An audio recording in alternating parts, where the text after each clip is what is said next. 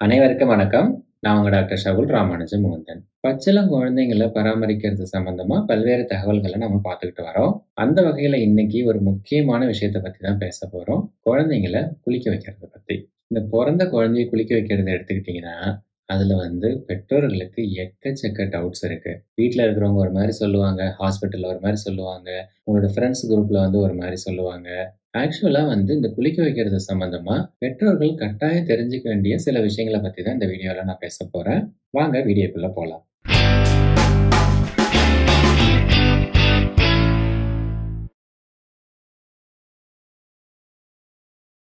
First தெரிஞ்சுக்க வேண்டியது, குழந்தைங்கள எப்போ குளிக்க வைக்க ஆரம்பிக்கணும் அப்படின்றது. என்னோட ஒப்பீனியன் வந்து, உங்க குழந்தையோட உடல் எடை 2 1/2 கிலோவுக்கு அதிகமா இருக்கு. குழந்தையோட தொப்புள் கொடி வந்து விழுந்துருச்சு அப்படின்னா, உங்க குழந்தைய வந்து குளிக்க வைக்கலாம். நிறைய குழந்தைங்களுக்கு வந்து பர்த் வெயிட் வந்து பிறக்கும் போதே ரெண்டரை கிலோவுக்கு அதிகமா இருக்கும். அவங்களுக்குலாம் வந்து தொப்புள் கூட விழுந்ததுக்கு அப்புறமாவே வந்து குளிக்க வைக்க ஆரம்பிக்கலாம். ஆனா, உங்க குழந்தையோட வெயிட் வந்து கம்மியா இருந்துச்சு.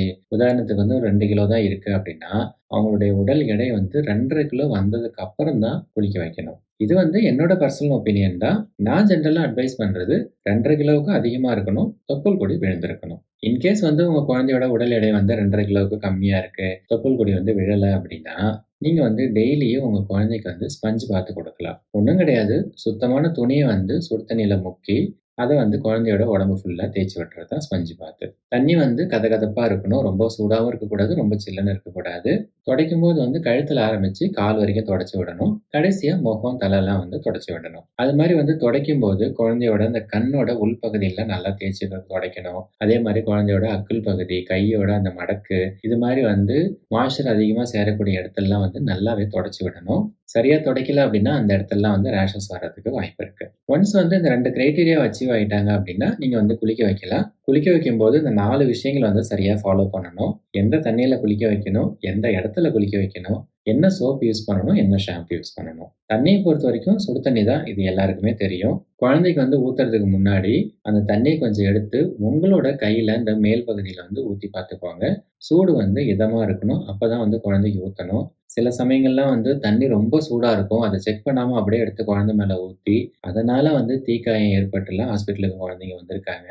ஸோ குழந்தைக்கு ஊற்றுறதுக்கு முன்னாடி அந்த தண்ணியோட சூடு வந்து போதுமானதாக இருக்கான்னு செக் பண்ணிட்டு தான் ஊற்றணும் அதே மாதிரி தண்ணி வந்து சுடு தண்ணி மட்டும் தான் இருக்கணும். அந்த தண்ணியில வேற எதையும் கலந்து ஊற்றக்கூடாது நிறைய வீடுகளில் பார்த்தீங்கன்னா, இந்த யூக்லிப்டஸ் ஆயில் மாதிரி சில வாசனை தரக்கூடிய ஆயில்லாம் வந்து அதில் ஊற்றி அந்த தண்ணியில் மிக்ஸ் பண்ணி அதுக்கப்புறம் அதை குளிக்க வைப்பாங்க. அது மாதிரிலாம் பண்ணணும்னு அவசியம் கிடையாது. ரெண்டாவதாக எங்கே குளிக்க வைக்கணும்? முடிஞ்ச வரைக்கும் ஓப்பன் பிளேஸாக இருந்தால் நல்லது.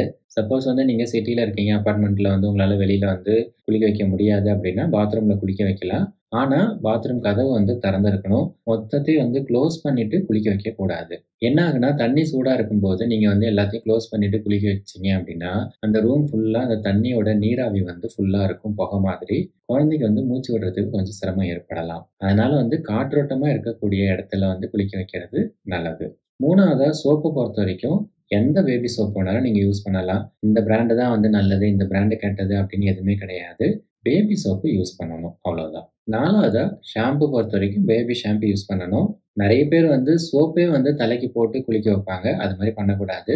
தலைக்கு வந்து ஷாம்பு தான் யூஸ் பண்ணணும். பேபி ஷாம்பு நீங்கள் எந்த பிராண்ட் வேணாலும் வாங்கி யூஸ் பண்ணிக்கலாம். அடுத்ததாக எந்த ஆர்டரில் குளிக்க வைக்கணும்? குழந்தைங்கள பொறுத்த வரைக்கும் தலையை தான் வந்து கடைசியாக குளிக்க வைக்கணும். துவட்டும்போது தலையை தான் ஃபஸ்ட்டு துவட்டணும். அதாவது குழந்தைய வந்து குளிக்க வைக்க ஆரம்பிக்கும்போது, முதல்ல கழுத்துக்கு கீழே வந்து தண்ணி ஊற்றிட்டு அவங்களுடைய நெஞ்சு, வயிறு, பேக்கு, கை, கால்லாம் சோப் போட்டு நல்லா வந்து தேய்ச்சி குளிக்க வச்சுட்டு, கடைசியாக தான் வந்து முகம், தலைக்கு வந்து தண்ணி ஊற்றணும் தலைக்கு ஷாம்பு போட்டு குளிக்க வச்சதுக்கு அப்புறமா, ஃபர்ஸ்ட் வந்து தலையை தோட்டிட்டு அதுக்கப்புறமா உடம்ப வந்து துவட்டணும். எதனாலன்னு பார்த்தீங்கன்னா, குழந்தையோட உடம்புலேருந்து ஹீட் லாஸ் ஆகும். அது வந்து தலைப்பகுதி வழியாக தான் அதிகமாக லாஸ் ஆகும். குழந்தையோட உடம்புலேருந்து வெப்பம் வந்து சீக்கிரமாக வெளியேறிடுச்சு அப்படின்னா, குழந்தை வந்து வெயிட் கெயின் சரியாக ஆகாது.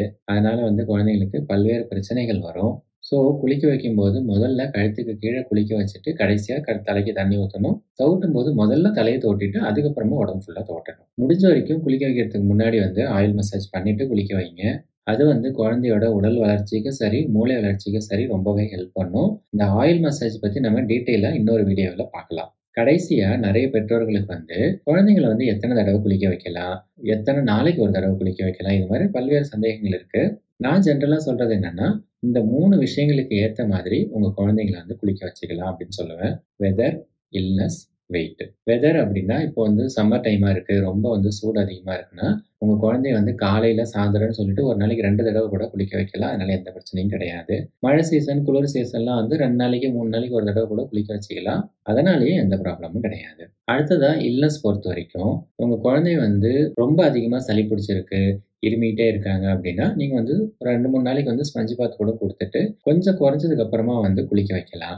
சாதாரணமாக ஒரு சின்ன ஜலதோஷம் தான் இருக்குது இல்லை லைட்டாக ஃபீவர் இருக்குது அப்படின்னா, தாராளமாக டெய்லியும் குளிக்க வைக்கலாம். அதனால எந்த பிரச்சனையும் கிடையாது. கடைசியாக உங்கள் குழந்தையோட உடல் எடை. நான் ஏற்கனவே சொன்ன மாதிரி ரெண்டரை கிலோவுக்கு அதிகமாக இருக்காங்கன்னா, நீங்கள் டெய்லியும் குளிக்க வைக்கலாம். எந்த பிரச்சனையும் கிடையாது. ஆனால் வந்து உங்கள் குழந்தையோட உடல் எடை வந்து பிறக்கும்போது கம்மியாக இருக்குது அவங்க 2 1/2 கிலோ வந்து அச்சீவ் ஆனதுக்கு அப்புறம் நீங்கள் குளிக்க வைக்கிறீங்கன்னா, ஆரம்பத்தில் வந்து ஒரு நாள் விட்டு ஒரு நாளோ, இல்லை ரெண்டு நாளைக்கு ஒரு தடவையோ குளிக்க வைங்க. ஒரு 1, 2 வாரத்துக்கு அப்புறம் வந்து நீங்கள் டெய்லியும் வந்து குளிக்க வைக்கலாம். மற்றபடி உங்கள் குழந்தைய வந்து இத்தனை தடவை தான் குளிக்க வைக்கணும் அப்படின்றதுக்கு எந்த கிளியர் கட் கைட்லைன்ஸும் கிடையாது. நீங்கள் இருக்கிற இடத்துக்கு ஏற்ற மாதிரி, தட்பவெப்பநிலைக்கு ஏற்ற மாதிரி, உங்கள் குழந்தையோட உடல் நிலைக்கு மாதிரி, ஒரு நாளைக்கு ரெண்டு தடவையோ, இல்லை ரெண்டு நாளைக்கு ஒரு தடவையோ கூட நீங்கள் குளிக்க வச்சுக்கலாம். அது வந்து டோட்டலாக உங்களோட சாய்ஸ் தான். இந்த வீடியோவில் பிறந்த குழந்தைங்கள குளிக்க வைக்கிறது சம்மந்தமாக பல்வேறு தகவல்களை வந்து பார்த்துருக்கோம் இதில் ஏதாச்சும் சந்தேகங்கள் இருக்குன்னா கமெண்ட்டில் கேளுங்க. அதுக்கு நான் ஆன்சர் பண்ணுறேன் அடுத்த வீடியோவில் வேற ஒரு தகவலோடு சந்திக்கலாம். நன்றி, வணக்கம்.